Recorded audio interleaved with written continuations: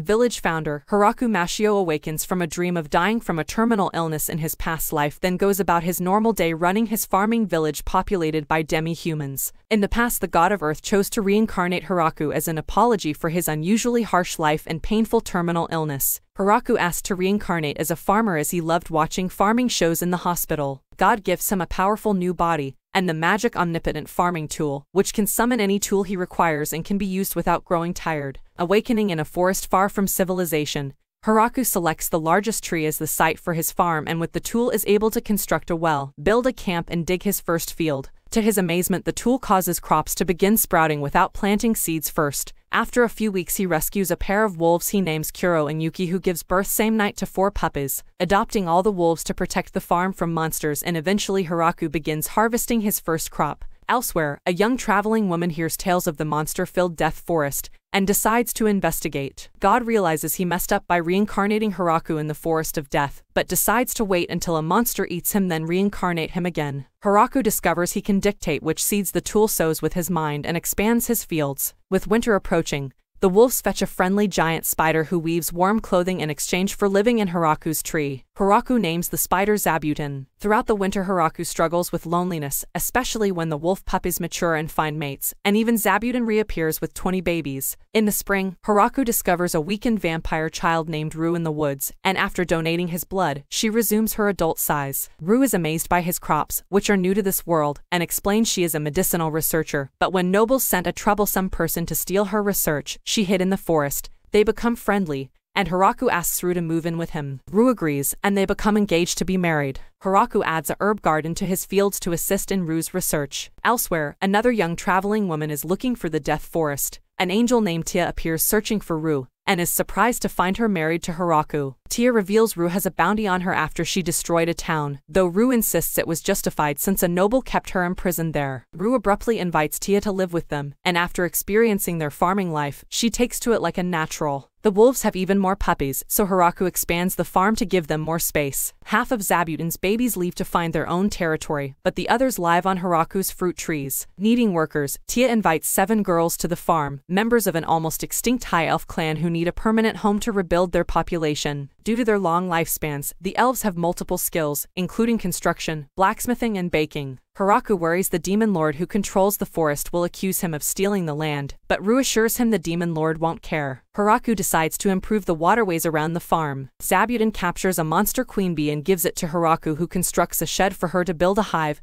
and produce honey. Hiraku and the elves construct a canal and reservoir for access to water, and fishing. With an abundance of water, Hiraku constructs his first rice field and uses the first harvest to make onigiri with fish. Next, they construct a bathhouse, including a second reservoir which they filled with slimes to purify water from the baths before returning it to the river. Hiraku is able to have a bath, but his relaxing bath becomes very stressful surrounded by nine beautiful, naked ladies who insists on joining him in the bath. Five additional elven girls make their way to the farm, so Hiraku decides to build more houses. The elves seem determined to begin having babies as soon as possible, worrying Hiraku as he is the only man among an increasing number of women. Tiro the wolf narrates he is grateful to Hiraku for giving him and his family a permanent home. He is certain Hiraku, who easily survives in Death Forest and attracts so many potential wives, must be more than an average human. At everyone else's insistence Hiraku's house is rebuilt even larger with single bedrooms for himself, Rue and Tia, and a communal dining room for everyone to share. Hiraku wisely ignores the secret double bed hidden behind a locked door. Hiraku harvests his first crop of spices, allowing him to make curry with naan bread. Rue and Tia become obsessed with turning cilantro into protective charms against Hiraku's wolves who dislike the strong smell, as they still remember the wolves beating them up the first times they came to the farm. Winter approaches so everyone begins stockpiling supplies, particularly firewood and preserved food.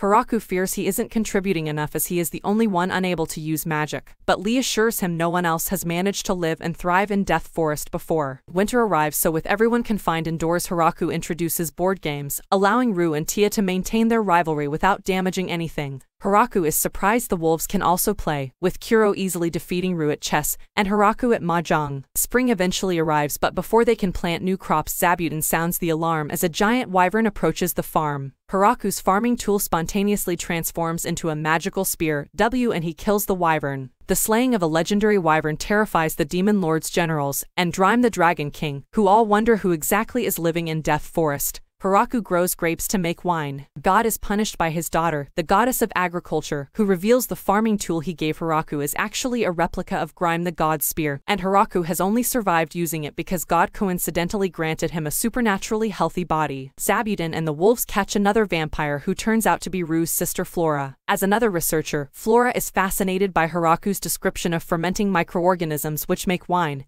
miso and tofu, so she moves onto the farm, bringing cows and two dozen ogre maids with her. Feeling outnumbered, Tia invites three more angels and a tribe of lizardmen who provide chickens. Another 30 elves arrive, all with plans to have babies. Hiraku really starts to worry about the absence of other men. As the farm expands to fit everyone Hiraku renames it the Great Tree Village, and throws a feast to celebrate the occasion where everyone unanimously declares Hiraku, as the village mayor. Demon General Beezle meets with Hiraku who offers the Demon Lord 10% of his harvest as a yearly tax. Beezle accepts but later reveals to Generals Gratz and Randon he only accepted 10% for fear of what is protecting Hiraku's village. Vampire Princess Rue, Angel of Annihilation Tia, an army of elves, angels and lizardmen, a pack of infernal wolves and a greater demon spider. Dragon King Drime also visits the village. Hiraku realizes as mayor the need to cultivate diplomatic relationships, so they build an embassy to house overnight visitors. Hiraku also wisely educates the villagers on the difference between guests and unwelcome intruders. Their next visitors are beastmen from Howling Village, miners and hunters whose leader Garf negotiates a trade agreement, silver, iron and glass in exchange for food crops. In exchange for wine Drime agrees to ferry trade goods between the Great Tree Village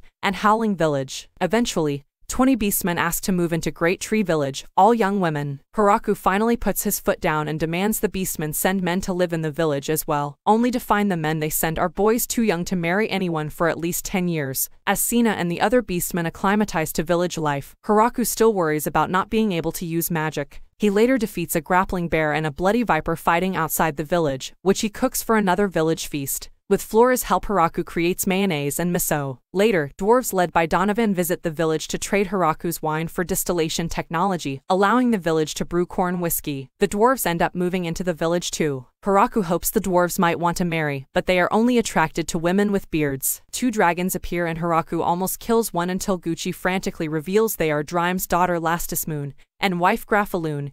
Grafaloon asks Lasty to stay in the village as a diplomat, hoping to avoid Hiraku becoming their enemy. Hiraku later assigns Lastismoon responsibility over all diplomatic relations, which the demon General Beezle finds out on a produce procurement mission. Terrified Hiraku now commands dragons. He sends his own daughter Florim to live in the village as a spy. Florim is shocked to observe the village's army is powerful enough to threaten the demon army, and is even more shocked to learn from Lastismoon their commander Hiraku is a human strong enough he almost killed Grafaloon. Florim decides to stay in the village longer than planned despite being constantly nervous around Hiraku. The village acquits a slime who drank a barrel of the village's precious wine. Autumn rolls in, and, over a hot pot, Hiraku misses seafood, so Florim and Lasty arrange to trade for fish with a merchant named Michael. As part of the deal, he requests to become Hiraku's purveyor and manage all trade between Hiraku and the outside world. Hiraku senses Michael is trustworthy, though it is shown via comical flashbacks where Michael was terrified. Another dragon challenges Hiraku to a fight. After capturing her, Hiraku discovers she is Hakurin,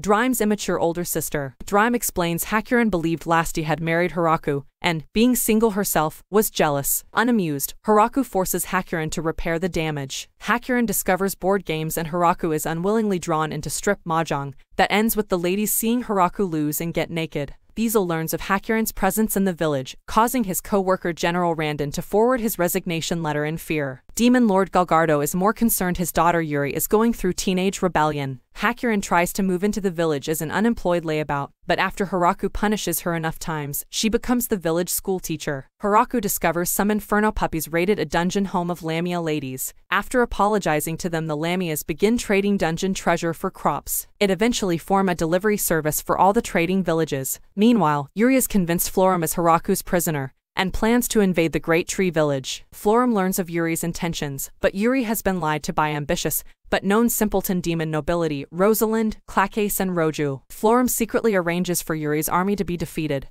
but not killed, by the Lamia ladies. As punishment Florim moves Yuri and the idiots into the village to work as an atonement. though she hides their attempted invasion from Hiraku for political reasons. The trio try to escape but are always foiled by the Inferno wolves and demon spiders. The idiots grudgingly help Florim with the village's financial paperwork, becoming known as the Town Hall Trio. Learning the truth about the village Yuri regrets almost invading and returns home satisfied. The trio decide to stay, preferring village life to demon court politics. Galgardo is confused by Yuri's abrupt personality change and mistakenly thinks she has a boyfriend. Five mountain elves led by Ym move into the village, using their fire magic to craft pottery goods. Florim foils a sneaky plot by the trio to seduce Hiraku. A dungeon is discovered where resides another bloody viper the elves want to hunt as its meat can increase their chances of pregnancy. As winter comes, Rue falls ill and becomes bedridden. Due to her symptoms, Sina suspects Rue is pregnant with Hiraku's baby. As Rue's pregnancy progresses Hiraku goes about his daily schedule of running the village, farm work, checking up on everyone, ensuring village security and combat training a man suddenly appears who turns out to be vampire progenitor Vargreif, Rue and Flora's 4,000-year-old grandfather. Vampires usually have children by transforming another human into a vampire, so Rue's pregnancy is a rare occurrence. Having seen Hiraku's statue of the god who reincarnated him Vargreif reveals he also met God once before being born as a vampire. He has forgotten most details since, to keep his sanity over his eternal lifespan,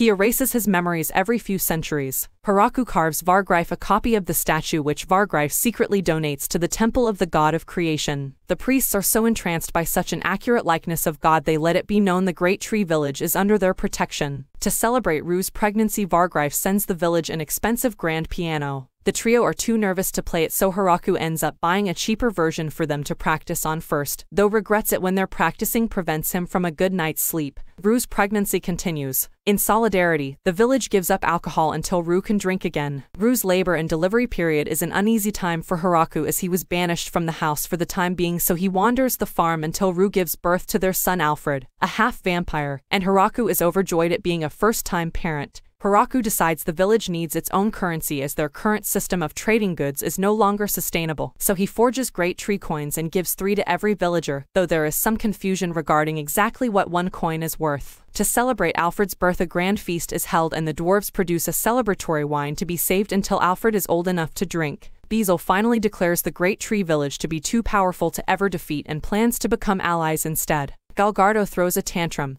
mistakenly thinking Beazle wants to arrange a political marriage between Yuri and Hiraku. Hiraku receives requests from almost 200 people wishing to move to the village to escape wars or persecution, leading to a decision to build an entire second village nearby to house them all, Great Tree Village 2.